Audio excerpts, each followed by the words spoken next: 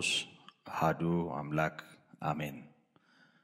የተወደዳችሁና የተከበራችሁ በእግዚአብሔር ጸጋ በእግዚአብሔር ምሕረትና በጎነት በያላችሁበት አብራችሁን ይህን የሕያው አምላካችንን የዘላለም ምክርና ሐሳብ የምታደምጡ በያላችሁበት ጸጋው በእምነት በተስፋና በፍቅር ያኑራችሁ በማለት በክርስቶስ ኢየሱስ ሰላም እንዲበዛላችሁ እመኛለሁ። እንደምታስታውሱት በማቴዎስ ምዕራፍ አምስት ከቁጥር አንድ ጀምሮ እስከ ቁጥር 12 ያለውን በተደጋጋሚ በማንበብ በተለይም ከብፅዕና ጋር የተገናኙ የጌታችን ትምህርቶች በውስጣቸው ጥልቅ የሆነ ከአጠቃላይ የመጽሐፍ ቅዱስ መልእክት ጋር የሚገናዘቡ የመለኮት አዋጅ እንደመሆናቸው መጠን ጊዜ ወስደን እያየናቸው ነው። በትናንትናው ዕለት በነበረን የትምህርት ክፍለ ጊዜ ስለ ጽድቅ የሚሰደዱ ብፁዓን ናቸው፣ መንግሥተ ሰማያት የነርሱ ናትና በማለት ጌታችን መድኃኒታችን ኢየሱስ ክርስቶስ ያስተማረውን ጽድቅን ማዕከል አድርጎ መሰደድ ምን ማለት እንደሆነ እንደ ቃሉ አይተናል። እንግዲህ ስለ ጽድቅ መሰደድ ማለት ትክክል ስለሆነ እውነት ስለሆነ ጽድቅ ስለሆነ መልካም ስለሆነ በጎ ስለሆነ ነገር ዋጋ መክፈል ነው። በጥቅሉ ስለ ጽድቅ በመሰደድ ውስጥ እግዚአብሔር የእርሱ በሆኑት ሰዎች ሕይወት ደስታን አዟል። የመንግሥተ ሰማያት ዜጎችም መገለጫ ነው። ይህንን ነበር የተመለከት ነው። ስለ ጽድቅ መሰደድ በሁለት መንገድ ሊሆን ይችላል። ለመንፈሳዊ ሕይወት፣ ለጤናማ ሕይወት ከማይሆን ከማይመች እንደ እሾህ መንፈሳዊ እድገታችንን ሊያንቁ ከሚችሉ ሁኔታዎች ውስጥ መውጣት እና በፍቅር በታዛዥነት ለእግዚአብሔር እውነት ታዘን ልክ ካልሆነውና ለሕይወታችን ከማይመጥነው ነገር መሰደድ የሚል ትርጉም ሊኖረው ይችላል። ይሄ በፈቃድ የሚሆን ለእግዚአብሔር እውነት በማድላት የሚሆን ካለንበት ስፍራ ተነስተን ወደ ሌላው ቦታ መሄድ ለጤናማ ኑሮ ዋጋ መክፈል ከወዳጅ ከዘመድ ከጓደኛ ከብዙ ነገር መለየት ሊሆን ይችላል። እንግዲህ ጽድቅ በመጽሐፍ ቅዱሳችን ለመጀመሪያ ጊዜ በተመዘገበበት በዘፍጥረት ምዕራፍ 15 ቁጥር 6 ላይ አብርሃም እግዚአብሔርን አመነ፣ እምነቱም ጽድቅ ሆኖ ተቆጠረለት በማለት እንደተናገረው አብርሃም በእምነት የሚገኘው ጽድቅ ወራሽ እንደሆነ በሚያረጋግጥ ሁኔታ ጽድቁ በእንዲህ አይነት ሁኔታ መቆጠሩን ከዚያም ባሻገር ጽድቅ እንዲህ የተቆጠረለት አብርሃም ከወገኖችህ ከዘመዶችህ ተለይተህ ውጣ የሚለውን የመለኮት ጥሪ ሲሰማ ከወገኖቹ ጣዖት ከሚመለክበት ከከላውዲዮን ወይም ደግሞ ኡር ከሚባለው ከባቢሎን ደቡባዊ ግዛት ተነስቶ እግዚአብሔር ወደ መራው አቅጣጫ እንደወጣ ይነግረናል። ያ ብቻም ሳይሆን በዕብራውያኑ ጸሐፊ መልእክት በዕብራውያን 11 ቁጥር 8ም ላይ አብርሃም እግዚአብሔር በጠራው ጊዜ ወዴት እንደሚወጣ ሳያውቅ ወዴት እንደሚሄድ ሳያውቅ እግዚአብሔርን ውጣ ያለውን አምላክ ታምኖ ወጣ እና በእንዲህ አይነት ሁኔታ በእምነት የሚገኘው ጽድቅ ወራሽ የሆነው አብርሃም ከወገን ከዘመዶቹ ጋር በምድሪቱ እንደ መጻተኛ ወይም እንደ ስደተኛ የሌላ አገር ሰው እንደሆነ በማሰብ ኖረ፣ በማመን ኖረ እና የተስፋውን ቃል ከሚወርሱ ከልጆቹ ጋር አብርሃም ረጅሙን ዘመን በድንኳን እንዳሳለፈ የዕብራውያኑ ጸሐፊ በግልጽ ያስረዳል። ይህን ያደረገበት ምክንያት ደግሞ መሰረት ያላትን እግዚአብሔር የሰራትን መንግስት ይጠባበቅ ነበር በማለት አብርሃም ከከነአንም አልፎ በእምነት እንደሄደ ከነአንን ብቻም ሳይሆን መሰረት ያለውን ቋሚ የእግዚአብሔር ስጦታ ወይም ደግሞ በእግዚአብሔር መሰረት ያላትን ከከነአን ያለፈውን የእግዚአብሔር የሆኑ ሰዎች የሚቀዳጁትን ያንን ሰማያዊ መንግስት ሰማያዊ ርስት ተስፋ አድርጎ እንደነበረ እ፣ ይነግረናል። እንግዲህ በዚህም መልእክት ውስጥ አሁንም እ፣ እንዳስተዋልነው እ፣ ስለ ጽድቅ መሰደድ ማለት ከዛም ሲቀጥል ጽድቅ ወይም ትክክለኛ ሕይወት ምክንያት ሆኖ ስለሚከፈል ዋጋ ማለትም በዚህ ዓለም ክፋት የሚደርስ የማሳደድ ወይም ደግሞ የጥላቻ ነቀፌታን ተሸክሞ ወደ እርሱ ወደ ሰፈሩ ውጭ ኢየሱስ ክርስቶስ ወደ ተጣለበት ወደ ተተወበት ሁኔታ መሄድ እንደሆነም ደግሞ እናያለን። ይሄ ከነቀፌታና ከሚያሳድድ ክርስቶስን ከሚጠላው ዓለም የተነሳ የሚሆን ነገር ነው። የሆነ ሆኖ ስለ ጽድቅ ለመልካም ነገር ከማይመች ሁኔታ መውጣትም እንደገናም ደግሞ መብትን ተገፎ ብዙ ነገር አጥቶ በመከራ ከሚኖሩበት ሁኔታ መሰደድም ሁለቱም ብፅዕና ነው። የመንግሥተ ሰማያት የሆኑ ሰዎች ሕይወት መገለጫ ነው። በደንብ ማስተዋል ያለብን ሰዎች ስለተሰደዱ መንግሥተ ሰማያትን ይወርሳሉ እያለ አይደለም። ሰዎች ነቀፌታ ስለደረሰባቸው መንግሥተ ሰማያትን ይወርሳሉ እያለ አይደለም። የመንግሥተ ሰማያት ስለሆኑ ይነቀፋሉ ነው። የመንግሥተ ሰማያት ስለሆኑ የዚህ ዓለም መንግሥት ይጠላቸዋል ነው። የጽድቅ ስለሆኑ ኩነኔ ወይም ደግሞ ነውርና እርኩሰት ያለበት ዓለም አይቀበላቸውም ነው። ስለዚህ ቃሉ እንደሚነግረን በተደጋጋሚም እንዳየነው ስለ ጽድቅ የሚሰደዱ ብፁዓን ናቸው፣ መንግሥተ ሰማያት ለእነርሱ ናትና።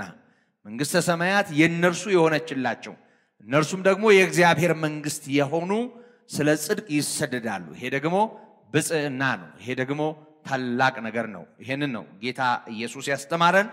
ይሄንን ነው እንግዲህ እ፣ በትናንትናው ዕለት በነበረን መርሃ ግብር አበክረን ያየ ነው። ይህን ትምህርት እንግዲህ በዋናነት ትናንትና በደንብ ተመልክተነዋል።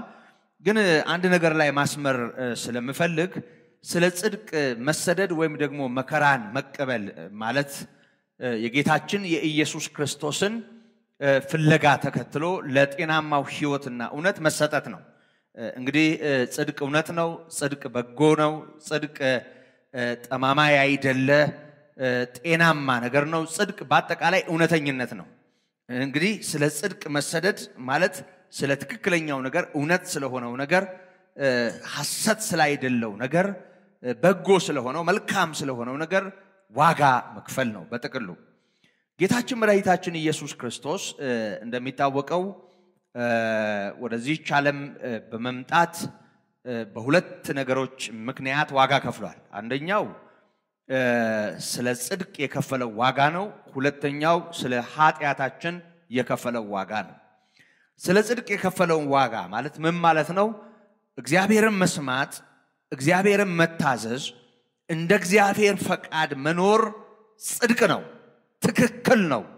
በሰማይም በምድርም ስህተት የሌለበት እውነት ነው። እግዚአብሔር ልክ ስለሆነና እግዚአብሔር ጨለማም ኃጢአትም በእርሱ ዘንድ ስለሌለበት እንደሚታወቀው ጌታችን መድኃኒታችን ኢየሱስ ክርስቶስ ወደዚህ ዓለም የመጣው እግዚአብሔር እንዲፈጽመው የሰጠውን ኃላፊነት ወይም አደራ በመፈጸም ወይም ደግሞ በመወጣት አባቱን ለማክበር ነው። ጌታችን መድኃኒታችን ኢየሱስ ክርስቶስ አባቱን እንደሚወድ ያረጋገጠልን ስለ አባቱ ያለውን ነገር በመናገር ብቻ አይደለም። በተለይ እንደምታስታውሱት ጌታ ኢየሱስ ክርስቶስ በዮሐንስ ወንጌል ምዕራፍ 14 ላይ ወደ መከራ ሲሄድ የዚህ ዓለም ገዢ ወደ እኔ ይመጣል ካለ በኋላ በእኔ ላይ ምንም የለውም አለ። ማለትም የዚህ ዓለም ገዢ የተባለው ሰይጣን ነው። ሰይጣን የዚህ ዓለም ገዢ የተባለበት ምክንያት ደግሞ ብዙዎቻችን እንደምናውቀው ይህን ዓለም እንዲገዛ በክብር የተፈጠረውን አታሎ በኃጢአት ምክንያት ስለያዘው ነው። እግዚአብሔር በዘፍጥረት ምዕራፍ አንድ የመጨረሻው አንቀጽ ላይ እንደተጻፈው በመልካችን እንደ ምሳሌያችን እንፍጠር ካለ በኋላ አዳምና ሔዋንን በመልኩ እንደ ምሳሌው ፈጠረ። እንዲህ ባለ ሁኔታ የፈጠራቸውን እነዚህን ሁለት እጅግ የተከበሩ ፍጡራን ባረካቸው። ከበረከቶቹ መሃል ብዙ ተባዙ፣ ምድርንም ምልዋት ካለ በኋላ ግዟትም ይላል። የምድሪቱ ገዢ ባለስልጣን ሆኖ የማልማት የማሳመር የማስጌጥ ስራ ለአዳም ወይም ለሰው ነው የተሰጠው። ይሄ ባለስልጣን በጠላት ተንኮል ተጠልፎ ወደቀ። ኃጢአት ወደ ህይወቱ ገባ። የኃጢአት ምንጭ የሆነው የክፋት ምንጭ የሆነው ጌታ ኢየሱስ በዮሐንስ ሰባት ላይ እንደነገረን በእውነት አልቆመም። እሱ የሐሰት አባት ነው። ሐሰትን ሲናገር ከራሱ አፍልቆ ወይም አመንጭቶ ይናገራልና በማለት እንደተናገረው ይሄ ነፍሰ ገዳይ የሆነው በእውነት ያልቆመው የሐሰት ምንጭ ወይም አባት የሆነው የተረገመው ኃይል የወደቀው ኃይል የወደቀው መልአክ ወይም ዲያብሎስ ወደ እነዚህ ሰዎች ህይወት በመምጣት አይምሯቸውን ተቆጣጠረው። በኃጢአት በኩል እነዚህን ሰዎች ማሸነፍ ቻለ። ምን ማለት ነው? በአጭር ቃል ከእግዚአብሔር ፈቃድ ፈቀቅ አደረጋቸው። እግዚአብሔር ሰውን በክብር ፈጥሮታል። ፈቃዱን አስታውቆታል። ይህንን አድርግ፣ ይህን አታድርግ ብሎታል። ይህም በማድረግ ውጤቱ ይሄ ነው ብሎታል። የእግዚአብሔር ፈቃድ በጎና ደስ የሚያሰኝ ነው። ሰው እንዲወድቅ የእግዚአብሔር ፈቃድ አይደለም። ሰው ልጅ ግን በገዛ ምርጫው ከዚህ ወጣ። ከዚህ ከመውጣቱ ጋር ተያይዞ ከእግዚአብሔር ፈቃድ ያፈነገጠው አዳም በአመፃ በእግዚአብሔር መንግስት ላይ በተነሳው በጠላት ቁጥጥር ስር ሆነ። ከዚህ የተነሳ ገዢው ስለተገዛ አስተዳዳሪ እንዲሆን ስልጣን የተሰጠው ስለተሸነፈ በዚህ ምክንያት ያሸነፈው ኃይል ፈቃዱን በእርሱ በኩል በመፈጸም በዚህ ዓለም ላይ ገዢ ወይም ባለስልጣን ወይም አምላክ ተብሎ ተጠራ። እንደሚታወቀው ቅዱስ ጳውሎስ በሁለተኛ ቆሮንቶስ መልእክቱ ምዕራፍ አራት የመጀመሪያው አንቀጽ ላይ የዚህ ዓለም አምላክ ይለዋል።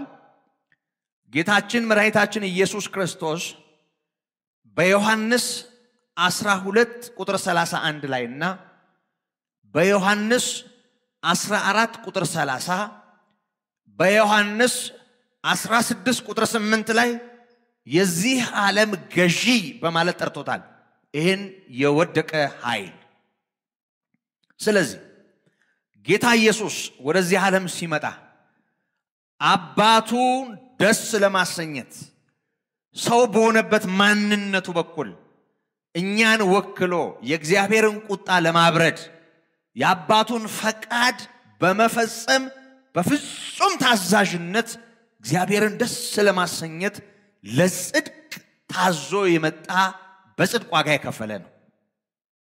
ጌታ ኢየሱስ ዓለም ሳይፈጠር በአብ ዘንድ በነበረው ክብር መጠን እጅግ የከበረ ነው።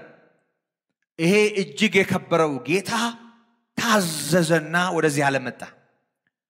ቅዱስ ጳውሎስ በፊልጵስዩስ መልእክቱ ምዕራፍ ሁለት ላይ ለወገኔ ይጠቅማል በማለት ማለትም በስጋ ወገንተኝነት ማለቱ ነው። አንዳች አታድርጉ፣ በክርስቶስ ኢየሱስ የነበረው ሐሳብ በእናንተ ደግሞ ይሁን እንጂ። እንግዲህ በክርስቶስ ውስጥ የነበረው ሐሳብ በክርስቶስ ውስጥ የነበረው ልብ ነው እያለ ያለው የውስጡ ማንነት በእናንተ ልብ ይኑር። እርሱ በእግዚአብሔር መልክ ሲኖር ሳለ ከእግዚአብሔር ጋር መቀማትን እንደ መተካከል አልቆጠረው። የባሪያን መልክ ይዞ በምስሉም እንደ ሰው ተገኝቶ ራሱን አዋረደ፣ ለሞት ያውም ለመስቀል ሞት እንኳ የታዘዘ ሆነ ይለዋል። ጌታችን ኢየሱስ ክርስቶስ ለሞት ያውም የተረገሙ ሰዎች ለሚሞቱት ሞት በእንጨት የሚሰቀል የተረገመ ነው ተብሎ እንደተጻፈ ክርስቶስ ስለ እኛ እርግማን ሆኖ ስለ ኃጢአታችን በመስቀል ላይ ተሰቀለ። ለዚህ ታዘዘ። ጌታ ኢየሱስ በፍጹም ታዛዥነት ወደዚህ ዓለም መጣ። ራሱን አዋረደ። ሰው መሆኑ ራሱን ማዋረዱ ነው። የሰውን አካል ገንዘብ ማድረጉ ራሱን ማዋረዱ ነው። የባሪያን መልክ መያዙ ራሱን ማዋረዱ ነው። ለሞት ያውም ለመስቀል ሞት መታዘዙ ራሱን ማዋረዱ ነው። ይህን ሁሉ ያደረገው አባቱን ደስ ለማሰኘት ነው። ያ ብቻ አይደለም፣ ለማክበር። ጌታ ኢየሱስ ክርስቶስ በግልጽ አባቴን እንደምወድ አባቴን እንደማከብር ዓለም ሁሉ እንዲያውቅ ብሎ በተናገረበት በዮሐንስ ወንጌል ምዕራፍ አስራ አራት ላይ የዚህ ዓለም ገዢ ወደ እኔ ይመጣል፣ በእኔ ላይ ምንም ስልጣን የለውም ካለ በኋላ ነገር ግን አባቴን እንደምወድ ዓለም ሁሉ እንዲያውቅ የእርሱ ፈቃድ በእኔ ይሆናል አለ። ምን ማለት ነው የእርሱ ፈቃድ? ማቴዎስ 26 ማንበብ እንችላለን። ጌታ ኢየሱስ ክርስቶስ ወደ መከራ ሲሄድ ከለበሰው ሥጋ የተነሳ በጌቴ ሴማኔ ተንበርክኮ ወዙ እንደ ደም ነጠብጣብ ድንጋይ ላይ እስኪነጥብ ድረስ በቃተተበት ጊዜ በጸለየበት ጊዜ ወደ አባቱ በጮኸበት ጊዜ አባት ሆይ ብትወድ ይህችን ጽዋ ከኔ ያሳልፋታል፣ ግን ሳልጠጣት ታልፍ ዘንድ የማይቻል ከሆነ ግን ያንተ ፈቃድ ይሆናል። አሁን ፈቃዴ ነው እኔ ከዚህ በወጣ ምክንያቱም ኢየሱስ ክርስቶስ ፍጹም ሰው በሆነበት ማንነቱ እየቃተተ ነው። ከሞት ጋር ነው ተፋጦ ያለው። ከሞት ጋር ብቻ አይደለም፣ የዓለምን ኃጢአት ሁሉ ተሸክሞ ሊሰቀል ነው። ኃጢአት በማያውቀው ማንነቱ ላይ እግዚአብሔር የሁላችንንም በደል ሊያኖር ነው። ነቢዩ ኢሳይያስ እንደተናገረው ከእኛም እያንዳንዱ ወደ ገዛ መንገዱ አዘነበለ፣ እግዚአብሔር ግን የሁላችንንም ኃጢአት በእርሱ ላይ አኖረ እንዳለ ኢሳይያስ 53 ላይ የሁላችንንም ኃጢአት እግዚአብሔር በእርሱ ላይ ስላኖረ ጌታ ኢየሱስ ክርስቶስ ሊሸከመው ያለውን የዓለም ሁሉ ኃጢአት ንጹሕ በሆነ ማንነቱ እየተንገፈገፈ እየተጸየፈ ይህችን ጽዋ ከኔ ያሳልፋታል። በመሰረቱ እጅና እግሩ ላይ ከሚመታው ምስማር በላይ ራሱ ላይ ከሚጫነው የእሾህ አክሊል በላይ በጎኑ ከሚሻጠው ጦር በላይ በጀርባው ላይ ከሚወርደው ግርፋት በላይ የዓለምን ኃጢአት ሁሉ ተሸክሞ ስለ እኛ ኃጢአት ሆኖ ሊሰቀል ወደ መስቀል የተነዳ እንደመሆኑ መጠን ጌታ ኢየሱስ ክርስቶስን የጎፈነነው ወይም ደግሞ የዘገነነው ያስጠላው ወይም ደግሞ እንዲጸየፈው ያደረገው ይሄንን ነበር። ጌታ ሆይ ፈቃዴ ነው፣ ይሄንን ከኔ ያሳልፈዋል፣ ግን ሳልጠጣስ ታልፍ ዘንድ የማይቻል ከሆነ ግን ያንተ ፈቃድ ይሆናል። ስለዚህ ጌታችን ለአባቱ ፈቃድ ታዘዘ። ምን ማለት ነው? ጽድቅ ለሆነው ትክክል ለሆነው አያችሁ፣ እግዚአብሔር ይህን በበላችሁ ቀን ትሞታላችሁ ብሎ እንዳይበሉ በገነት መካከል ካለው የዛፍ ፍሬ ክፉና ደጉን የምታስታውቀውን እንዳይበሉ አዘዘ። ሰይጣን በመምጣት አይ እንደ እርሱ ስለምትሆኑ ይሄን ከበላችሁ ይሄን ስለሚያውቅ ነው እግዚአብሔር ይሄን ያለው እንጂ ሞትንስ አትሞቱም አለ። አሁን በጠላት ተንኮል ምክንያት እግዚአብሔር ያለውን ወደ መጠርጠር፣ ወደ አለማመን፣ እግዚአብሔር ላለው ነገር ወደ አለመሸነፍ የመጡት እነዚህ ሁለት ሰዎች በሌላ ቋንቋ ይህን በበላችሁ ቀን ትሞታላችሁ ያለው እግዚአብሔርን ወደ አለማመን ልባቸው የእሱን ፈቃድ ወደ አለመታዘዝ ልባቸው መጥተዋል ማለት ነው። ብዙ ሰው ኃጢአቱን የሚያደርገው የእነዚህ ሁለት ሰዎች ፍሬ መብላት አትብሉ የተባሉትን መብላት ይመስለዋል። ይሄ ይመስላል ኃጢአት። ያንን ከመብላት በላይ ከመብላቱ ጋር የተያያዘው ነገር እግዚአብሔርን ያለማመን ወይም የመጠርጠር ዲያብሎስ ያለውን ነገር የማመን ወይም የመቀበል ወንጀል ነው ወንጀሉ። ጌታ ኢየሱስ ክርስቶስ ግን ለአባቱ ፈቃድ ራሱን አስገዛ። አባቱ ላለው ነገር ሙሉ ለሙሉ ራሱን ሰጠ። በሌላ ቋንቋ ኢየሱስ ክርስቶስ ሰው ሲሆን በድንግል ማርያም ማህፀን ሲጸነስ እንደ ማናችንም በማህፀን ውስጥ ያንን ያህል ጊዜ አሳልፎ ሲወጣ በምድር ላይ 33 ዓመት ከአራት ወር ሲኖር ጌታችን መድኃኒታችን ኢየሱስ ክርስቶስ በአጠቃላይ የሆነው ነገር ጠቅላላ ስለ ጽድቅ ማለትም እግዚአብሔርን መታዘዝ ጽድቅ ነው። የእግዚአብሔርን ፈቃድ መረዳት ጽድቅ ነው። ለእግዚአብሔር ፈቃድ መንበርከክ ጽድቅ ነው። ስለ ጽድቅ ነው ጌታ ኢየሱስ ክርስቶስ ዋጋ የከፈለው። ስለዚህ ኢየሱስ በምድር ላይ ባሳለፈው ጊዜ ተጸንሶ ከተወለደበት ቅጽበት አንስቶ ያሳለፈው ጊዜ ጠቅላላ የእግዚአብሔርን ፈቃድ በመፈጸም በማከናወን ለአባቱ ፈቃድ ራሱን በማስገዛት የኖረው ነው። ለዚህ ነው ለእኛ መድኃኒት መሆን የቻለ። የዕብራውያኑ ጸሐፊ ዕብራውያን አምስት ላይ እርሱ ከሞት ሊያድነው ወደሚችል በብርቱ ጩኸት ከእንባ ጋር ጸሎትና ምልጃን አቀረበ። እግዚአብሔርንም ስለ መፍራቱ ተሰማለት። ምንም ልጅ ቢሆን ከተቀበለው መከራ መታዘዝን ተማረ። በራሱ በእግዚአብሔር እንደ መልከ ጼዴቅ ሹመት ለዘላለም ሊቀ ካህን ተብሎ ስለተጠራ ለሚታዘዙለት ሁሉ የዘላለም መዳን ምክንያት ሆነላቸው ነው ያለ። ጌታችን መድኃኒታችን ኢየሱስ ክርስቶስ ለአባቱ ታዘዘ፣ አባቱን አከበረ። ለጽድቅ ታዘዘ፣ ስለ ጽድቅ ከአርያም ወረደ። ስለ ጽድቅ ስደተኛ ሆኖ በምድር ላይ ተገለጠ። እንደ መጻተኛ እንደ እንግዳ ኖረ። ስለ ጽድቅ ከኢየሩሳሌም ወይም ደግሞ ከቤተልሔም ወደ ግብፅ ተሰደደ። ከግብፅም ደግሞ እንደገና ወደ ገሊላ ተመልሶ መጣ። ጌታ ኢየሱስ ክርስቶስ በምድር ላይ የኖረው ኑሮ ጠቅላላ ስለ ጽድቅ ዋጋ በመክፈል ራሱን አዋርዶ ከድሃ ጋራ እዚህ ግቡ ከማይባሉ ምስኪኖች ጋር ከኃጢአተኞች ጋር እንጀራ እስከ መቁረስ በዚህ እስኪጸየፉት ድረስ እስኪጠሉት ድረስ የእግዚአብሔር ልጅ ነኝ ይላል። የእግዚአብሔር ልጅ እንደሆነም ይነገርለታል።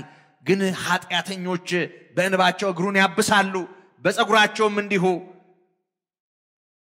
ይሄ የእግዚአብሔር ልጅ ቢሆን ብለው እስኪጠረጥሩት ድረስ ጌታ ኢየሱስ ክርስቶስ ፍጹም ለአባቱ ታዘዘ። ይሄ ስለ ጽድቅ የከፈለው ዋጋ ነው። ስለ ኃጢአታችን ደግሞ የከፈለው ዋጋ የሁላችንንም ኃጢአት ተሸክሞ ሶስት ሰዓት መስቀል ላይ ያሳለፈው ጊዜ ነው። ጌታ ኃጢአታችንን በስጋው በእንጨት ላይ ተሸከመ ተብሎ እንደተጻፈ ጌታችን ወደ መስቀል ሲወጣ በመስቀል ላይ ሲቸነከር የሁላችንንም ኃጢአት ተሸክሞ ነው ወደ መስቀል የወጣው። ስለ ኃጢአታችን ዋጋ ከፈለ። ስለ ኃጢአታችን የከፈለውን ዋጋ በተመለከተ እኛ አሜን በማለት የእኛ ከማድረግ ውጭ ምንም ማለት አንችልም። እንባችን አይመጥነውም። ለዚህ አንዳንድ ሰነፎች እንደሚያደርጉት የክርስቶስን የስቅለት ጊዜ የሚያስቡት ጀርባቸውን በሰንሰለት በመዠለጥ ነው፣ በእሳት በመራመድ ራሳቸውን በማሰቃየት እነዚህ ሁሉ ነገሮች ለዚህ ምላሽ አይሆኑም። የእኛ ደም ቢፈስ ከፍጥረታችን የኃጢአት ልጆች የሆንነን የቁጣ ልጆች የሆንነን የአዳም ልጆች የትኛውም ነገራችን ለደህንነት የሚሆን ነገር አይኖረውም። እንኳን አመፃችን ጽድቃችን እንኳ እንደ መርገም ጨርቅ ነው እንዳለ ኢሳይያስ እንኳን ሌላው ነገራችን መልካም ነው ያልነው ነገር ውስጥ እንኳ ድካምና ስንፍና አይጠፋበትም። ስለዚህ ጌታ ኢየሱስ ስለ ኃጢአታችን በመስቀል ላይ ተቸንክሮ የኃጢአታችንን ዋጋ በመክፈል መድኃኒት ሆነን ጌታችን ኢየሱስ ደግሞ ስለ ጽድቅ በምድር ላይ ባሳለፈው ጊዜ ሁሉ የኖረውን ኑሮ የሕይወቱን ፍለጋ እንድናውቅና እንድንከተል ወገኖች ጌታ በተግባርም በቃልም አስተማረን። ስለዚህ በደንብ ማስተዋል ያለብን የኃጢአታችንን ዕዳ እሱ ከፍሏል። ስለ ጽድቅ ደግሞ ከእሱ ጋር ወግነን እሱን በማክበር እግዚአብሔር አብን በማክበር በምድር ላይ እንኖራለን። ይሄ በደንብ ነው መስተዋል መቻል ያለበት። ይኸውላችሁ ጌታችን መድኃኒታችን ኢየሱስ ክርስቶስ ቅዱሳት መጻሕፍት የተናገሩለት የመሰከሩለት ሙሴን በሕግ ነቢያትን በትንቢት መጽሐፍ ተብሎ እንደተጻፈ ሐዋርያትን በወንጌል እንዲሁ የተናገሩለት አባቱ ከሰማይ ሆኖ የመሰከረለት የእግዚአብሔር ልጅ ነው። ይሄ የእግዚአብሔር ልጅ በቅዱሳት መጻሕፍት በተነገረለት መጠን በልባችን ነግሷል። ይሄ ጌታ ደግሞ ስለ ሁላችንም ራሱን አሳልፎ በመስጠት እግዚአብሔርን ስለ ማክበርና ስለ ኃጢአተኞች ዋጋ ስለ መክፈል አስገራሚ የሆነ የህይወት መልኩን አሳይቶናል። አሁን ከጌታችን ከኢየሱስ ክርስቶስ ስለ ጽድቅ ዋጋ መክፈልን እንማራለን። ምን ማለት ነው? ለአባት መታዘዝን፣ ለእግዚአብሔር መሸነፍን፣ እግዚአብሔርን ማመንን፣ እግዚአብሔር የተናገረውን በቃሉ ያለውን ያለ ጥርጣሬ አሜን ማለት።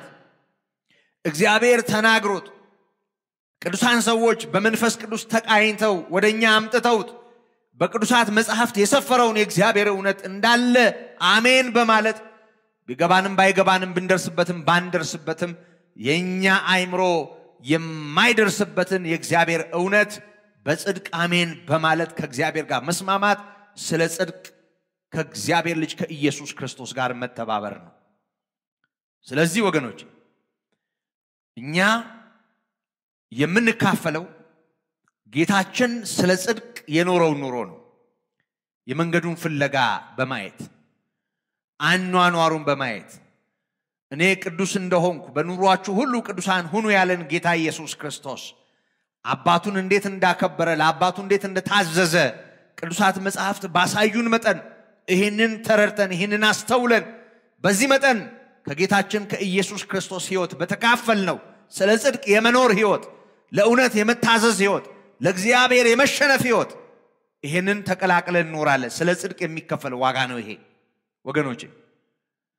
ይሄ በመሆኑ ምክንያት ስለ ጽድቅ በምንኖረው ኑሮ ከእግዚአብሔር ጋር በመስማማታችን ማለት ነው። በዚህ ምክንያት ክርስቶስን የጠላቸው ዓለም ያልወደደችው ዓለም ባትወደን ብትጠላን ባትፈልገን ይህ የመዳናችን የእግዚአብሔር የመሆናችን ማረጋገጫ ነው። በፊልጵስዩስ ምዕራፍ 1 ቁጥር 28 ላይ በአንድስ ነገር እንኳ በተቃዋሚዎች አትደንግጡ፣ ይህ ለእነርሱ የጥፋት ለእናንተ ግን የመዳን ምልክት ነው፣ ይህም ከእግዚአብሔር ነው።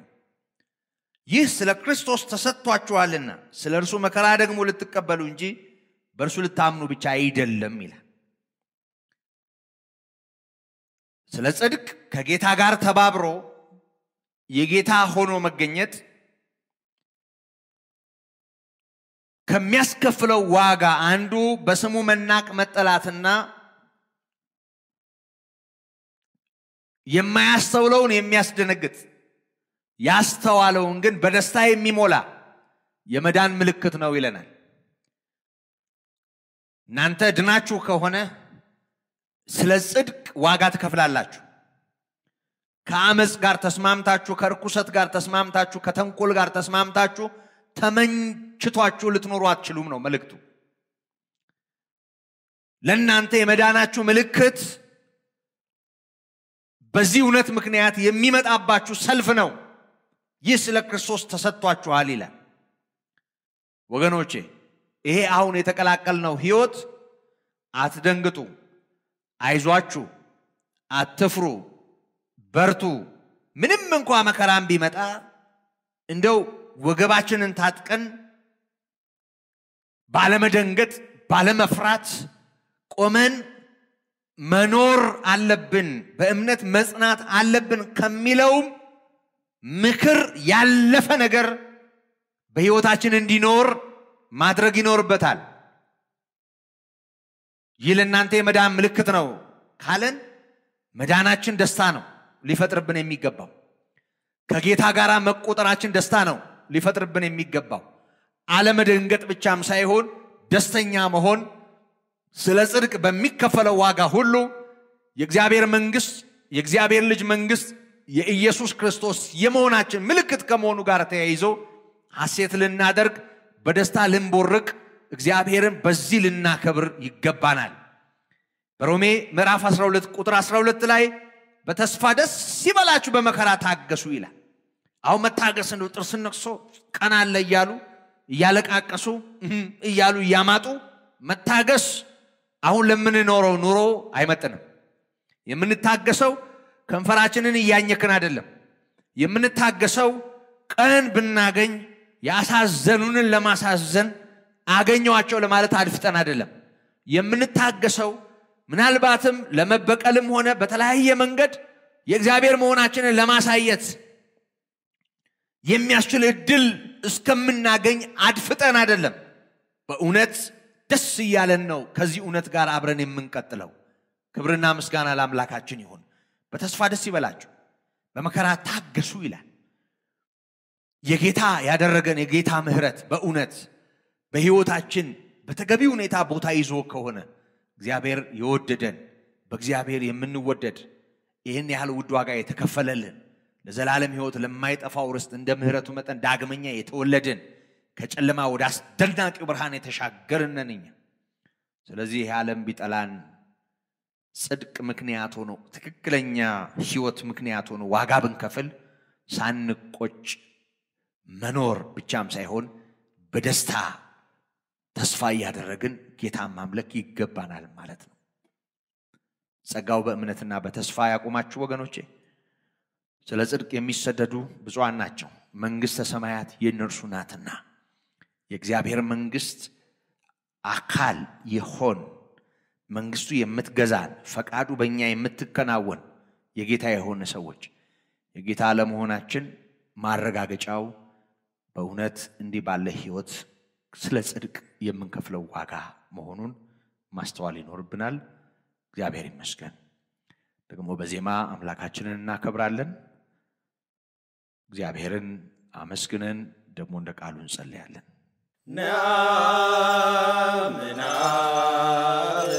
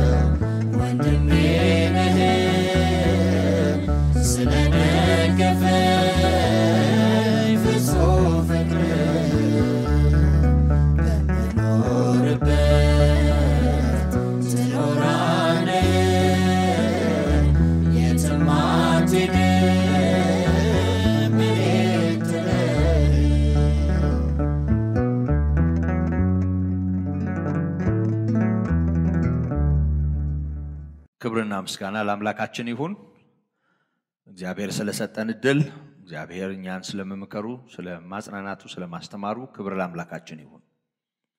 ተወዳጆች፣ ያውም በእግዚአብሔር የምትወደዱ በያላችሁበት በዚህ ቃል በኩል እግዚአብሔርን የምታዩ የምታከብሩ ደግሞ በጌታችን በኢየሱስ ክርስቶስ ስም በእምነትና በተስፋ በመሆን ለጸሎት አብራችሁኝ እንድትሆኑ በጌታ ፍቅር እለምናችኋለሁ። ሁለት ሆናችሁ በምትስማሙበት የሰማይ አባቴ ይስማማል እንዳለ ጌታችን አባታችን የሆነው የጌታችን የኢየሱስ ክርስቶስ አባት ልዑል እግዚአብሔር ተስማምተን በምንጸልየው ጸሎት ሁሉ ውስጥ በእውነት በብዙ ምሕረት አብሮን ይሆናል። አምነን ነው የምንጸልየው። መጸለይ ስላለብን ብቻ አይደለም የምንጸልየው። የዚህ ጸሎት ምላሽ በተስፋ በልባችን ሆኖ እግዚአብሔር በጽድቅ በድንቅ የሚመልስ አምላክ እንደሆነ ተሰምቶን እንጸልያለን። አምላካችን ሆይ ክብር ላንተ ይሁን። በሰማያት የምትኖር በልባችን የነገስክ የሕይወታችን ጌታ ክብር ላንተ ይሁን። ረዳህን፣ በምህረት ያስከን፣ ደገፍከን፣ ደግሞ መከርከን፣ አስተማርከን፣ ሰበሰብከን፣ ከመልካም ነገር እንዳንጎድል የምህረትህን የበጎነትህን ጸዳል ወደ ሕይወታችን አመጣ። ክብር ላንተ ይሁን። እግዚአብሔር ሆይ እናመሰግንሃለን። ከማንም የተሻልን አልነበርንም፣ ግን ከሁሉ የተሻለውን አሳየህን። አቤቱ ጽድቃችን አይደለም የእኛም የሕይወት ተጋድሎ ጌታ ሆይ ባንተው ምሕረት ነው ይሄንኑ ያየነው የተቀዳጀነው። ክብር ላንተ ይሁን። እናመሰግንሃለን። የተወደዳችሁ ጌታ ኢየሱስ ክርስቶስ የከፈለውን ዋጋ በማሰብ እንዲህ ታዛዥ ልጅ ያለው እግዚአብሔር አብን በልጁ በኢየሱስ ክርስቶስ ማክበር ይገባናል። እናመሰግነዋለን። እግዚአብሔር ቅዱስ ነው፣ መንግስቱም ብርክት ናት። እጅግ የተባረከው አምላክ እጅግ ቅዱሱ ጌታ መንግስቱም እንደዚሁ የኢየሱስ ክርስቶስ አባት ነው። በጌታችን በኢየሱስ ክርስቶስ ደግሞ አለመጥፋትን የዘላለም ሕይወትንም የወሰነልን ጌታ እሱ ነው። ይህን ጌታ ከፍ ከፍ እናደርጋለን። እግዚአብሔር ሆይ ተመስገን። በክርስቶስ ያየንህ አምላካችን ሆይ ተመስገን። ጌታችንና አምላካችን መድኃኒታችንን ወደዚህ የላከው የጌታ የኢየሱስ ክርስቶስ አባትና አምላክ እግዚአብሔር ሆይ ተመስገን። አንተ በደላችንን ይቅር ብለሃል፣ ኃጢአታችንንም ሁሉ በልጅህ ላይ አድርገህ ኃጢአትን ቀጥተህ ኃጢአተኞቹን እኛን ታድገህናል። ክብር ላንተ ይሁን። በሰማያት የምትኖር የሕይወታችን ልዑል አምላካችን ሆይ እናመሰግንሃለን። አንተ ቅዱስና ጻድቅ ስለሆንክ ከአመፅ ጋር ኅብረት ስለማይኖርህ እጅግ ቅዱስ የሆነው ልጅህን ጌታ ሆይ የኃጢአታችንን ዕዳ በመክፈል እንዲያሳርፈን ወደዚህ ዓለም ሰደድከው። ልጅህም ታዘዘ፣ ያውም ለሞት ያውም ለመስቀል ሞት። እግዚአብሔር ሆይ በልጅ ወደዚህ ዓለም መምጣትና ለሞት መታዘዝ እኛ ከኃጢአታችን ከበደላችን ሁሉ አመለጥን። ቅዱስ አባታችን ሆይ እናመሰግንሃለን።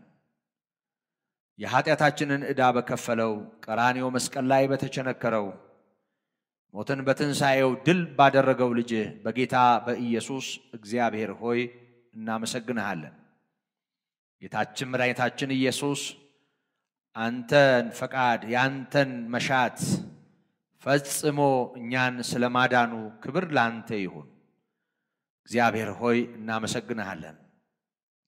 ክብርና ምስጋና ላንተ ይሁን። ጌታ ኢየሱስ ክርስቶስ የሕይወታችን ጌታ መድኃኒታችን ኃጢአታችንን ተሸክመህ ለመሰቀል እግዚአብሔር አብን በሰው ሁሉ ዘንድ ለማክበር ሰይጣን አንተን የሚፋለምበት የሚገድልበት የሚያስገድልበት ምክንያት ሳይኖረው አቅምም ሳይኖረው ስልጣንም ሳይኖረው ግን በሰው ወገን ቆመህ ስለከፈልከው ዋጋ ከዚህም የተነሳ የሰይጣንን ሥራ ስለማፍረስህ እግዚአብሔር እኛን ይቅር እንዲል እንዲቀበለን ብቸኛው ምክንያት ስለመሆንህ ቀራኔው መስቀል ላይ በሁለቱ ወንበዴዎች መካከል ተቸንክረህ ኤሎሄ እያልክ ስትጮህ እንደ ደካማ ደምና ንባህ ሲወርድ ስለመታየቱ ጌታችን ሆይ በደላችንን ኃጢአታችንን ተሸክመህ እጅግ ደስ የማይለውን በደልና ርኩሰት ሁሉ የዓለምን ስህተት ሁሉ አባትህ ባንተ ላይ አኑሮ የእኛን ቅጣት ስለመቀበልህ ይህንን ለማስተናገድ ፈቃደኛ ስለመሆንህ አባትህን በዚህ ስለማክበርህ እኛንም በዚህ ስለማዳንህ ልዑል ሆይ ክብርና ምስጋና ላንተ ይሁን። እናመሰግንሃለን። ኃጢአታችንን ይቅር ያልክ እናመሰግንሃለን። በደላችንን ይቅር ያልክ እናመሰግንሃለን። መተላለፋችንን ይቅር ያልክ እናመሰግንሃለን። እርኩሰታችንን ይቅር ያልክ እናመሰግንሃለን። የኃጢአታችንን ኃይል የበደላችንን ቀንበር የሰበርክ አንተ ነህ፣ እናመሰግንሃለን። አባትህን ደስ አሰኘኸው፣ እኛን ወክለህ ልቡን በሐሴት ሞላህ። በእርሱ ደስ የሚለኝ የምወደው ልጄ ይሄ ነው በማለት የእኛን ሁሉ ኃጢአት ባንተ ምክንያት ይቅር አለ። በእውነት እናመሰግንሃለን። ክብርና ምስጋና ለታላቅነት ይሁን። ክብር ላንተ ይሁን። እግዚአብሔርን አመስግኑ። ስለ ጽድቅ የተከፈለውን ዋጋ፣ ስለ ኃጢአትም የተከፈለውን ዋጋ በማሰብ እግዚአብሔርን አመስግኑ። ጌታችን መድኃኒታችን ኢየሱስ ክርስቶስ የእግዚአብሔርን ፈቃድ ለመፈጸም ሰው ከሆነበት ቅጽበት አንስቶ ለአባቱ ፈቃድ ፈጽሞ ታዞ በምድር ላይ ስላሳለፈው ጊዜ ደግሞም የዘላለም ኪዳን ከእኛ ጋር ስለ መግባቱ ጊዜ የማይወስነውን ዋጋ ስለ መክፈሉ በእውነት ጌታን እናከብራለን። እግዚአብሔር ሆይ ተመስገን፣ ክብር ላንተ ይሁን። ከወደቀው ግን ባንተ ምሕረት ከተነሳው ካደፈው ግን በልጅህ ደም ከታጠበው በብዙ ስህተትና ስንፍና ከኖረው በልጅህ በኢየሱስ ክርስቶስ ወደ ጽድቅ ከተጠራው ሕይወታችን ክብር ላንተ ይሁን። እናመሰግንሃለን። ውለታህን ባለመዘንጋት እናመሰግንሃለን። ባለውለታችን ከፍ በልልን። አንተ እንዲህ ባትሆን ጌታ ሆይ ባትችለን፣ ባትሸከመን፣ ውዱን ዋጋ ባትከፍል፣ በጌታችን በኢየሱስ ክርስቶስ በደል ኃጢአታችንን ይቅር ባትል፣ ሕይወታችንን በምሕረት ባትሸከም፣ ኃጢአታችንን ይቅር ባትል ጌታ ሆይ እኛ ለዘላለም ጠፍተን እንቀር ነበር። እድል ፈንታችንም የዘላለም ቅጣት ነበር። አንተ ፍቅር ስለሆንክ ድነናል። ክብር ላንተ ይሁን። ስለ እነዚህ በያሉበት አንተን ስለሚያከብሩ ሰዎች፣ ስለሚያመሰግኑ ሰዎች መዳናቸው ገብቷቸው ምሕረት እንደተደረገላቸው ጌታ አንተ በሠራኸው ሥራ በአብ ፊት ተቀባይነት ስለ ማግኘታቸው ይህንን አስተውለው ክብርን ስለሚሰጡ ሰዎች ሁሉ ክብር ላንተ ይሁን። ደግሞም ጌታችን ሆይ በስምህ ስለሚሆነው ነገር ሁሉ እናመሰግንሃለን፣ እናከብረሃለን። ጌታ ሆይ በስምህ የሚሆነውን ከስምህ የተነሳ የሚደረገውን እንድንታገስና በተስፋ አርቀን እያሰብን በትዕግስትና በቁጭት እንድንኖር ሳይሆን ጌታ ሆይ በደስታም አንተን እያከበርን በዚህ ሐሴት እንድናደርግ ነውና ስለዚህም እናመሰግንሃለን። እኛ ያንተ ስለሆንበት ምሕረት ተመስገን። የበደላችን ኃይል ከእኛ ስለመነሳቱ ተመስገን። በሰይጣን በኩል ያገኘን በኢየሱስ ክርስቶስ በኩል በእውነት ስለመፈራረሱ ክብር ላንተ ይሁን። እግዚአብሔር አብ ሆይ አሁንም ለመንግሥት የሚሆነውን የምትዋጅ አንተ ነህ። በዚህ ቃል በኩል ሰዎችን ወደ አንተ የምትጠራ አንተ ነህ። በየጓዳው በየቤቶቻቸው ያሉትን ልትዋጅ የምትችል አንተ ነህ። ጌታ ሆይ ይሄ ቃል እግዚአብሔር ሆይ እንዲሁ እንደ ሰው መልእክት እንዳይተላለፍ በሚዲያ እንደሚተላለፍ መልእክትም እንዳይተላለፍ ያንዳንዱን ከውድቀት የሚያነሳ ከስብራት የሚጠግን የሰይጣንን ሥራ ከሰው ሕይወት የሚያፈራርስ እንደ ስለታም ሰይፍ ጌታ ሆይ በብዙዎች ሕይወት ውስጥ ያለውን እርኩሰት የሚቆራረጥ ሆኖ እንዲያልፍ እንለምንሃለን። እግዚአብሔር ሆይ ከዚህ የወደቀ ዓለም የሳተ ዓለም ሞትና ፍርድ ከሚጠብቀው ዓለም ለመንግሥት የሚሆኑ ሰዎች ይነጠቁ።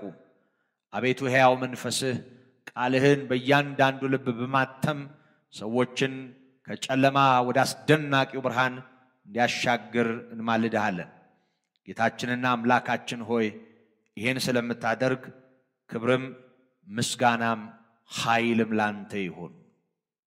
ተወዳጆች በእግዚአብሔር ፊት እግዚአብሔር ስላደረገላችሁ ምሕረት እግዚአብሔርን አመስግኑ። በግል ሕይወታችሁ እግዚአብሔር ምሮኛል የምትሉ ይቅርታ አድርጎልኛል የምትሉ ኃጢአቴን ትቶልኛል የምትሉ በኢየሱስ ክርስቶስ ደም በደሌ ከኔ ተነስቷል የምትሉ ይህን የምታምኑ እግዚአብሔርን አመስግኑ።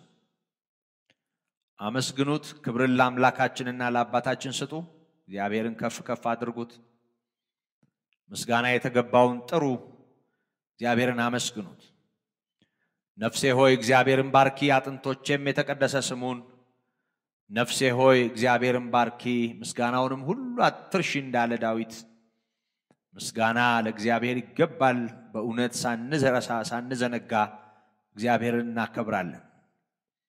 ምሕረት ላደረገልን ልጁን ወደዚህ ዓለም ለላከ እኛን ለማትረፍ ይህን ውድ ዋጋ ለመክፈል ለጨከነ ፍቅር ለሆነ በጽድቅ የኃጢአትን ዋጋ አስከፍሎ እኛን ላተረፈ እኛን ላዳነ ለእግዚአብሔር ክብርን እንሰጣለን። እግዚአብሔርን አክብሩ፣ አመስግኑት። ደግሞ በልዩ ልዩ ስርዓት ውስጥ ያላችሁ ሰዎች ይሄ የምህረት አዋጅ ወደ እናንተ ልብ ዘልቆ ሳይገባ እስከ ዛሬ በድካም ውስጥ የኖራችሁ ሰዎች ዛሬ ይሄ የቃል እውነት የወንጌል ብርሃን ወደ ሕይወቴ መጥቷል። እግዚአብሔርን በቃሉ በኩል አየሁት፣ አሰብኩት፣ አሰላሰልኩት። ወደ ሕሊናዬ ወደ መንፈሴ የእግዚአብሔር ምክር መጣ ብላችሁ የምታምኑ ሰዎች ክብርን ለእግዚአብሔር ስጡ። እግዚአብሔር ሳይሰራ የማይመለስ ቃል ባለቤት ነው። ኃጢአተኛው እንዲመለስና በሕይወት እንዲኖር እንጂ እንዲጠፋ የማይሻ አምላክ ነው።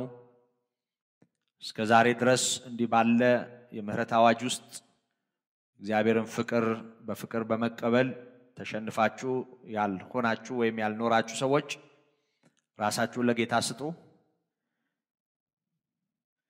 በእግዚአብሔር ፊት እንሆናለን። በተለይ ለዚህ መልእክት እንግዳ የሆናችሁ ሰዎች አብራችሁኝ ብትጸልዩ ታተርፋላችሁ፣ በነፍሳችሁ ረፍት ታገኛላችሁ።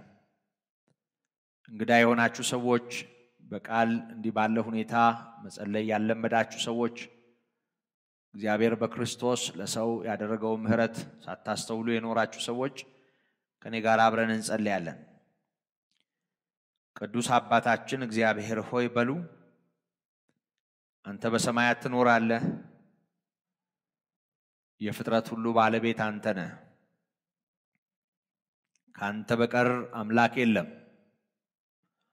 አንተ አንድ አምላክ የሁሉ ጌታ እንደሆንክ እኔ አምናለሁ። ሰማይና ምድርን የፈጠርክ እኔንም አክብረህ ከእንስሳ ከአራዊት ከመላእክትም ለይተህ አልቀህ እንደፈጠርከኝ እኔ አምናለሁ። ጌታ ሆይ ለእኔ ባልከው መጠን ስላልኖርኩበት ዘመን ምሕረት ልጠይቅህ ከኃይለኛው እጅህ በታች ራሴን አዋርጃለሁ። መንፈስ የሆንከውን በእምነት አያለው። በእውነት በውስጤ ውስጥ በመንፈሴ ላንተ እሰግዳለሁ። ጌታ ሆይ አንተ ልጅህን ስለ እኔ አሳልፈህ እንደሰጠህ ወደዚህ ዓለም የመጣው ከድንግል ማርያም የተወለደው ፍጹም ሰው የሆነው ኢየሱስ እርሱ ክርስቶስ እንደሆነ እኔ አምናለሁ። ይህን በማመኔ ሕይወት እንዲሆንልኝ አንተ አዘሃልና አባት ሆይ ሕይወትም ስለሚሆንልኝ አመሰግንሃለሁ። አውቄ በድፍረት ቢሆን ሳላውቅም በስህተት በሕይወቴ ዘመን በእኔ ሕይወት የተመለከትከውን ኃጢአት ሁሉ ፈጽሞ ይቅር በለኝ። በልጅ በኢየሱስ ክርስቶስ ደም እጠበኝ። እኔ ካንተ ጋር ተጣብቄ እንድኖር በቀሪው ዘመኔ እንዳከብርህ ጌታ ኢየሱስ የሕይወቴ ጌታ መድኃኒቴ ሆነህ በልቤ ንገስ። በደልና ኃጢአቴ ሁሉ ከደምህ የተነሳ ከኔ ይንከባለል። እግዚአብሔር አብ ሆይ በጌታችን በኢየሱስ ክርስቶስ ስም በሕይወት መጽሐፍ ስለ ጻፍከኝ በሕይወት ካንተ ጋር ስለምኖር ጌታዬ ሆይ መንፈስ የሆንከው አንተ በልቤ ስለምትነግስ ክብርና ምስጋና ለታላቅነት ይሁን። እግዚአብሔር ሆይ አከብረሃለሁ ስላዳንከኝ ለዘለዓለሙ አሜን። ቅዱስ አባት ልዑል እግዚአብሔር ሆይ አንተ ታውቃለህ ማን በእምነት ማን በተስፋ ይህንን አሜን በማለት በቤቱ ከዚህ ጸሎት ጋር እንደተስማማ አንተ ታውቃለህ። ጌታችን ሆይ ሕያው በሆነው ቃልህ በመንፈስህ ረፍት እንዲሆንለት ስለ ጠራኸው ሰው ሁሉ ክብር ላንተ ይሁን። አንተ በዘመናት ሁሉ ራስህን ያለ ምስክር አትተውም። ዛሬም ትናገራለህ፣ ትጠራለህ፣ ታድናለህ። ጌታ ሆይ በእውነት ይህንን እውነት ሰምተው ስለዳኑ በያሉበት ይህን እውነት አሜን ስላሉ ሰዎች ሁሉ ክብር ላንተ ይሁን። ጌታ ሆይ ተመስገን። ደግሞ እንጸልያለን ስለ አብያተ ክርስቲያናት በስሙ ስለተጠሩ ወገኖች ሁሉ እንጸልያለን። አምላካችን እግዚአብሔር ሆይ ቤተ ክርስቲያንን ተመልከት። በዚህ ዘመን ያለችዋን ብዙ ምዕመናን የሚወጡ የሚገቡባትን ጉባኤ ተመልከት። ቅዱስ አባት ሆይ እንደ ምሕረት መጠን ስለ ጽድቅ ዋጋ የሚከፍሉ ለእውነት የሚሰደዱ ከእውነት የተነሳ ለሚደርስባቸው ስደትና መከራ ነቀፌታ ምላሻቸው ማጉረምረም፣ መነጫነጭ፣ ማዘንና ማፈግፈግ ያልሆነ ብዙ ሰዎች በደም እንደተዋጁ በቤትህ እንዲጸኑ ፈታኙ ፈትኖ እንዳይጥላቸው አታላዩም እንዳያወጣቸው በተወደደው ልጅ በኢየሱስ ስም በስም የተጠራውን ወገን ከክፉ እንድታድን እንለምንሃለን። እግዚአብሔር ሆይ ጽድቅ ስለጠፋበት፣ እውነተኝነት ስለጎደለበት፣ ብዙ አመፀኞች፣ ብዙ ነውረኞች ስለተሰገሰጉበትና የቤትህ ውበት ጌታ ሆይ በስምህ የተጠራው ሰው መልክ ወይቦ ገርጥቶ ስለሚታይበት ስለዚህ ዘመን ምሕረትን እንለምንሃለን። ቤተ ክርስቲያንን የገሃነም ደጆች አይችሏትም ብለህ እንደተናገርክ የገሃነም ደጆች በማይቋቋሙት ኃይል እግዚአብሔር ሆይ በስምህ የተጠራቸዋ ጉባኤ እንድትቆም መንፈስህ በስምህ የተጠራውን ሕዝብ ከክፉ እንዲያስመልጥ እንጸልያለን። ቅዱስ አባት ሆይ ስለ ጽድቅ የሚሰደዱ ስለ እውነት በመሰደዳቸው ደስ የሚላቸው ትክክለኛ በሆነ የሕይወት መልክ በየትኛውም ዘመን በየትኛውም ቦታ የሚታወቁ ከዚህም የተነሳ ለብዙዎች በረከት የሚሆኑ ወገኖች እንዲበዙን አቤቱ ምድራችንን ፈጽሞ እንድትጎበኛት እንማልድሃለን። እግዚአብሔር አባት ሆይ አብያተ ክርስቲያናትን ተመልከት። እውነተኛ ያልሆነ አምልኮ ለአንተ በመሸነፍ ያልሆነ የትኛውም የቤተ ክርስቲያን ስነ ስርዓት እግዚአብሔር ሆይ በእውነት ከጉባኤያት ወይም ደግሞ ከአብያተ ክርስቲያናት ሁሉ እንዲወገድ በእውነት አንተ እንድትከበር እንድትመለክ አንተ ብቻህን ከፍ እንድትል ጉባኤዎች ሁሉ ጌታ ሆይ በደመ ኃይል በስምህ ጉልበት ለክብርህ የተሸነፉ እንዲሆኑ እንለምንሃለን። ጌታ ሆይ ስለ ጽድቅ የሚሰደዱ እንዲበዙ ስለ እውነት ክብራቸውንም ጥቅማቸውንም የሚሰውም እንዲበዙ ስለ እውነት እንደ ሰማዕታቱ በደምህ እንደዋጃቸው ቅዱሳን እንደ ቀደሙቱ ጌታችን ሆይ በዚህም ዘመን ወገባቸው የታጠቀ መብራታቸው የበራ ብዙ ወገኖች እንዲበዙ አብያተ ክርስቲያናትን ሁሉ ጌታ ሆይ በልጅ ደም በኢየሱስ ክርስቶስ ስም በእውነተኞች እግዚአብሔር ሆይ እንድትመላ እውነት የሆንከው አንተ የአንተ የሆኑትን እንድትጠራ ዛሬም እንድታጠራ እንለምንሃለን። አመፀኞች ከአብያተ ክርስቲያናት ዘወር ይበሉ፣ ያልጠራሃቸው ዘወር ይበሉ። በአመፃና በተንኮል የሚሰሩ ዘወር ይበሉ፣ ያላካቸው ሰራተኞች ዘወር ይበሉ። እግዚአብሔር ሆይ ባላልከው መንገድ ትውልድን የሚቃኙ ዘወር ይበሉ፣ ያልጠራሃቸው ስፍራውን ይልቀቁ። በኢየሱስ ክርስቶስ ስም አመፅና ርኩሰት ከሕዝብህ የኔ ከምትለው ወገን ፈጽሞ የተወገደ ይሁን። ዋጋ የሚከፈልለት እግዚአብሔር ሆይ ጭክን ባለ መንፈስ የሚኖር ሕይወት ሆኖ የወንጌሉ አገልግሎት በአሸናፊነት ወደ ብዙዎች እንዲደርስ እግዚአብሔር ሆይ በዚህ ዘመን ያለችዋን ቤተ ክርስቲያን ፈጽሞ እንድትጎበኝ ጉባኤያቱን ሁሉ እንድትጎበኝ በመላው ዓለም ያሉ ያንተ የሆኑትን ሁሉ በደም እንድትሸፍን እንለምንሃለን። ቅዱስ አባታችን ሆይ ስለሰማህን ክብርም ምስጋናም ኃይልም ለታላቅነት ይሁን። ተወደዳችሁ ደግሞ እንጸልያለን። በግል ሕይወታችን በምንኖርባት አገር በሀገራችን እንዲሁም በዓለም ውስጥ ስለሚሆነው ነገር ሁሉ በሕያው አምላካችን ፊት እግዚአብሔር ዘንበል እስኪል ፊቱን እስኪመልስ እግዚአብሔር በምሕረት ብዙዎችን እስኪያቀና ድረስ በእግዚአብሔር ፊት መሆን መቃተት ተገቢ ነው። እንጸልያለን። የተጨነቃችሁ በሕይወታችሁ ልዩ ልዩ ሰልፍ ያለባችሁ ሰዎች እግዚአብሔር አለ ሕያው የሆነ ሰልፋችሁን ሊሰለፍ የሚችል መከራችሁን ሊያርቅ የሚችል በሕይወታችሁ ያለውን ፈተና ሊያሻግር የሚችል አምላክ አለ አሻጋሪ። ተስፋ አድርጉት። ወደ እግዚአብሔር ልባችሁን አቅኑ። ስለ ኑሯችሁ በቅንነት ጸልዩ። አንድያ ልጁን ስለ እኛ አሳልፎ ሲሰጥ ያራራለት ከልጁ ጋር ሌላውን እንዴት አይሰጠን እንዳለ ቅዱስ ጳውሎስ በእውነት ልጁን የሰጠን አምላክ በእንጀራ በውሃ በዕለት ጉርስ አይታማም። እግዚአብሔር ትልቁን አድርጎልናል። በትንሹ እኛ በምንሻው ነገር አይጠረጠርም። እኛን የወለደ አባታችን የእንስሳው፣ የአራዊቱ፣ የአዕዋፋቱ ሁሉ መጋቢ ነው። ይህን በማመን እንጸልያለን።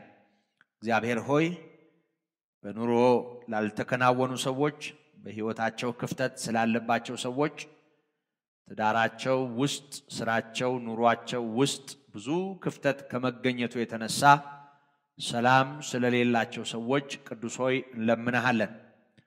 አንተ የምህረት አምላክ አምላካችን ሆይ ተመልከት። ዛሬም ቀኝህን በምህረት ዘርጋ። በሕይወታቸው ካለ ክፍተት የተነሳ እንደሚያጉረመርሙ በሚበሉት በሚጠጡት ነገር ለጎደሉ ሰዎች እጅህን ዘርጋ። የሰማይ አምላክ በእውነት ወደ እያንዳንዱ ጓዳ እንዲህ ባለ ምህረትና በጎነት ቀኝህን አንቀሳቅስ።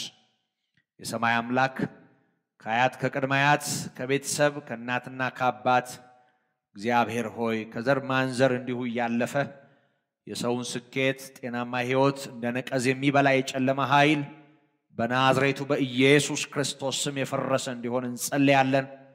እግዚአብሔር አብ ሆይ እንደ ምሕረት መጠን እንደ ቸርነትህ ይህን ጨለማ ግፈፍ። እግዚአብሔር ሆይ ይህንን የጠላት ኃይል ከእያንዳንዱ ጓዳ አሳድ። ሰው እንደ ድካሙ እንዳይሰበስብ እንደለፋበት እንዳያገኝ እንደ ጥረቱም እንዳይሆንለት እያደረገ በእያንዳንዱ ኑሮ በእያንዳንዱ ጓዳ በክፋት የሚንቀሳቀስ ጨለማ በናዝሬቱ በኢየሱስ ስም ፈጽሞ የወደቀ እንዲሆን እንጸልያለን። እግዚአብሔር አባት ሆይ ጠላት ይህን አደረገብኝ ባሉበት ዘመን ፈንታ እግዚአብሔር ይህን አደረገልኝ ማለት እንዲችሉ የምድሪቱን ጎስቋሎች በተለይ በስሜ የተጠራውን ሕዝብ ፈጽሞ እንድትመለከትና ለክብርህ ምስጋና በሚሆን መልካም ነገር ሁሉ እግዚአብሔር ሆይ እንድትጎበኘን እንጸልያለን። ይሄ ዘመን እጅግ አስጨናቂ ነው። ጌታ ሆይ ብዙዎች በሞት ወደ መቃብር ሲወርዱ ያየንበት ጌታችን ሆይ ከበሽታ የተነሳ ዓለም የተጨነቀችበት ዘመን ነው ይሄ። አሁንም የምህረት እጅህን ዘርጋ፣ የበጎነት መዳፍህን ዘርጋ። ብዙዎች ካንተ ጋር እግዚአብሔር ሆይ በጽድቅ ይሰለፉ፣ የታመሙ ሰዎች ይፈወሱ። በለይቶ ማቆያ ስፍራ ያሉ ሰዎችን አንተ ዳስልን። እግዚአብሔር ሆይ ቀኝህን ዘርጋ። መድኃኒት አልተገኘላቸውም በተባለላቸው ሕመሞች ያሉትን ሰዎች ሁሉ ነፃ አውጣ። የሰማይ አምላክ እግዚአብሔር ሆይ ጠላትን ኃይል የአጋንንትን ሥራ ፈጽሞ እንድታፈርስ በጌታ በኢየሱስ ክርስቶስ ስም እንጸልያለን። የሰማይ አምላክ እግዚአብሔር ሆይ ከእያንዳንዱ ሕመም ከእያንዳንዱ ችግር ጀርባ ያለውን የሰይጣን ሥራና ተንኮል አንተ እንድታፈርስ እንማልድሃለን። እግዚአብሔር ሆይ በጸሎት በፊትህ በቆምን ጊዜ ሁሉ እንድናስባቸው አደራ ያሉንን ሰዎች አንተ በምሕረት እንድታስብ የሰማይ አምላክ እግዚአብሔር ሆይ በእያንዳንዱ ሕይወት በእያንዳንዱ ኑሮ እጅህን እንድትዘረጋ ፈውስና ጤና እንድትሰጥ እንጸልያለን። ጌታችን ሆይ ደግሞ ሰዎች እንዲፈወሱ እንዲድኑም ብቻም ሳይሆን ጌታ ሆይ ከአንተ ጋር ሳይታረቁ ወደ መቃብር እንዳይወርዱ ጠላትም እንዳይነጥቃቸው በነፍሳቸው እንዳይጎዱ የሰማይ አምላክ የታመሙ ሰዎችን ፈጽሞ እግዚአብሔር ሆይ እንድትረዳ በእውነት ወደ አንተ ልባቸውን ቀና እንድታደርግ ኢየሱስ የሕያው እግዚአብሔር ልጅ የነፍሴ መድኃኒት ማለት ችለው እንዲያንቀላፉ በሞት ጥላ ውስጥ ያሉ ሰዎችን ፈጽሞ እግዚአብሔር ሆይ እንድትረዳን ለምንሃለን።